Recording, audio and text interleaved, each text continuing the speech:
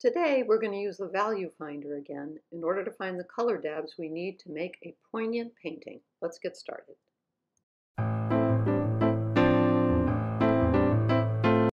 So first let's look at the two things together. These are the values that I found to use in the painting.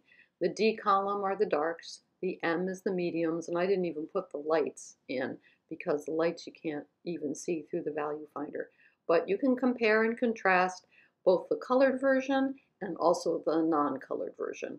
And that is just putting a piece of plexiglass in front so it neutralizes the color and allows you to see pretty clearly how dark or light something is. So if I had done this perfectly, all my darks would be the same value and all my mediums would be the same value. And as you can see, I might have made a mistake or two. It also might mean that I looked at it through the value finder and decided I did make the mistake and therefore didn't use the um, dab at all. Here's the final painting, but we're going to get to that. It's a poignant painting. I'm calling it a poignant painting because uh, Callie, our collie dog, has not been on a walk now for nearly five days because it's been super hot around here. All right, the first thing that I do is put in some watered down Naples yellow in order to find the whites that I want to leave. And this is because I don't use masking fluid. I just tried to use masking fluid two days ago, and it went so badly that I threw every bit of masking fluid that I have in the house out. It never works for me. I am done with that stuff. So after making sure that my whites are taken care of, now I'm going to start with my darks. And what I mean by the whites is wherever that Naples yellow is, I'm determined not to drive over it. Now I'm squinting my eyes and looking at any dark shapes, and I'm putting those in. And as you can see in the dark column, there's going to be some color. There's going to be purple. There's something that leans toward red, almost a violet. And that's because I don't want my um, I don't I don't want a monochromatic painting. Um, and in some ways, when you have a photograph, and I know this has happened to you, you have a photograph that doesn't quite meet your needs. If you can make the painting better than the photograph, I say hats off to you. Because it's not about recreating the photograph, because that's not why we paint. It's about an interpretation. So I'm sticking with my darks and putting them in, but as you can see, they're quite a variety of darks. And occasionally that value finder, that piece of red plexiglass jumps up so I can take a look. Now I've tipped a little bit. I'm tipping into the mid column now. Everything in the mid column, according to my strategy, everything now has to be lighter than what I put in in my dark column. If I do that, then I'm following my strategic plan, which is to outline my whites at the very beginning, not drive over them, put in my darks that are all about the same value, and then move on to my midtones or my, um, or what I call the M column, and leaving the lights which I'll get to. There are very few lights in this painting, and I think if you looked closely at the photograph, yeah, you can see why. There's no direct sunlight coming in. There's sunlight outside, but there's no actual sunlight in the house. So even the whites in this painting uh, aren't white. So, um, so things are going according to plan. And I should also say, when you pick a photograph, one of the nice things to do is ask yourself, why am I picking this photograph?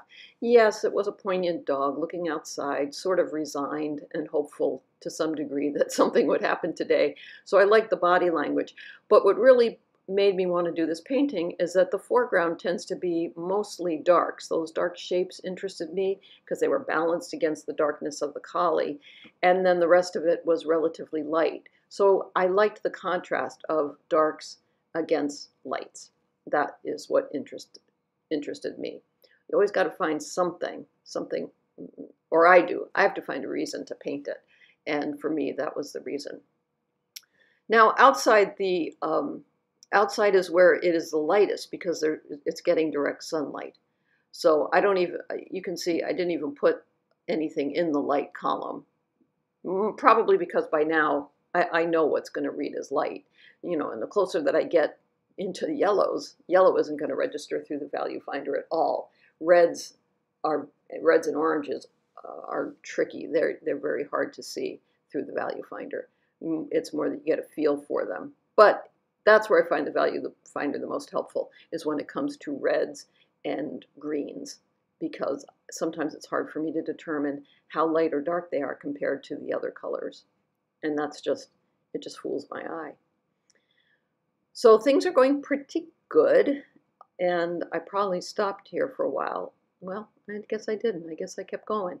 So, um, so I also like the honey color of the floor, and I knew that the yellow of the floor was going to provide a brightness and also a contrast to those violets because they're complementary colors. And you can see the value finder suddenly is making an appearance pretty frequently.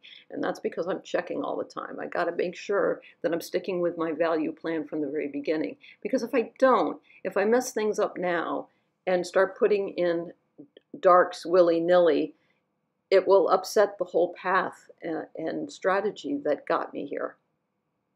Now what I'm doing is going over some colors just to reinforce and get them to be more bright uh, it's that's not going to change the value in any way at all. People think that if you add the same color on top of the same color over and over and over again, it's going to tip the value, but it doesn't. It will make the color brighter, or depending on what you put over that color, it can make it duller. But this is what the real painting really looks like in light.